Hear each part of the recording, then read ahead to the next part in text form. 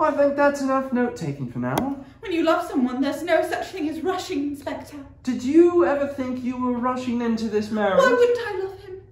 Did you love him then? How could anyone have benefited? Can you think of anyone who might have benefited from your fiance's death? Cecil! Not even Cecil. I was not having an affair. Don't you raise your voice to me, Inspector! You were having an affair! Down, Miss Collymore. Which letter? Then how do you explain this letter?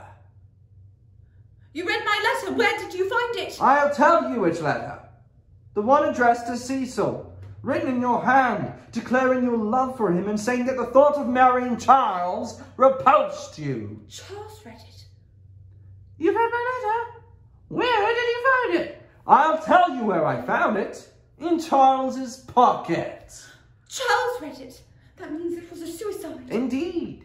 Or a murder conceived by yourself and Cecil Havisham. So you could run away together. You diabolical beast.